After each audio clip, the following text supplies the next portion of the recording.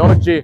c'è la prima sfilata, la prima domenica, la 76esima edizione del Mandorlenviore, un evento fantastico per Agrigento, è un preludio, il battesimo per il, questa grande opportunità del 2025 di Agrigento Capitale della Cultura. La festa è, sta proseguendo in, in ordine, ringrazio quindi e colgo l'occasione per ringraziare le forze dell'ordine e tutti i volontari che stanno contribuendo a farla svolgere con massima sicurezza. Agrigento è una città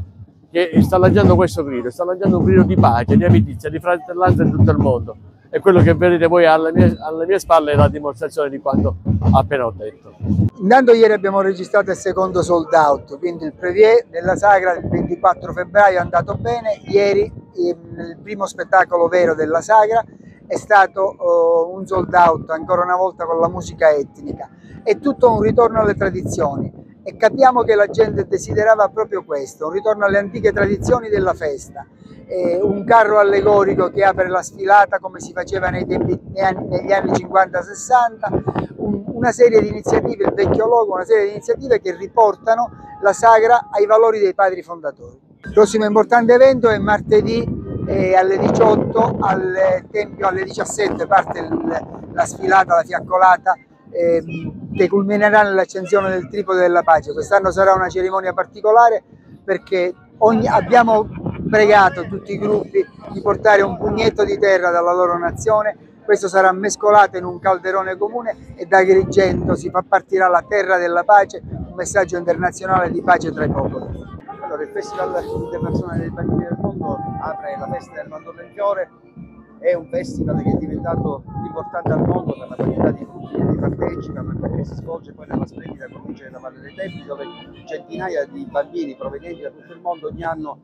eh, celebrano i valori della pace, dell'amicizia e della fratellanza. È il modo migliore per aprire diciamo, questa straordinaria festi, eh, festa che ha una storia di 76 anni. La giornata di oggi, la prima domenica, che ha visto la 76esima edizione del Mandorlo in Fiore mettersi strada ecco, con questa sfilata, è andata benissimo, una giornata bella, eh, ricca di gente, tanta gente ha affollato la nostra città, il nostro centro storico, quindi buona la prima, come si suol dire. Il Mandorlo in Fiore sicuramente è l'essenza di, eh, di, quello che è il concetto di capitale italiana della cultura, quindi il mettere insieme tanti popoli, le relazioni, le diverse culture che si intersecano e che innalzano il nostro livello di conoscenza e anche di cultura nel vero senso della parola. Per Capitale della Cultura ci sono in previsione tantissimi eventi e quindi siamo al lavoro costantemente per fare una grande capitale italiana della cultura. La fiaccolata per volontà del sindaco ritorna anche nella parte bassa della città, quindi la fiaccolata non si fermerà al via della Vittoria ma arriverà fino allo stadio.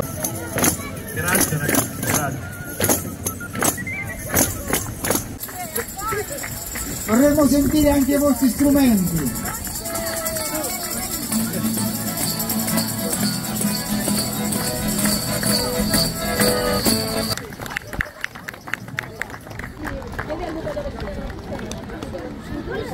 Una settimana intensissima di avvenimenti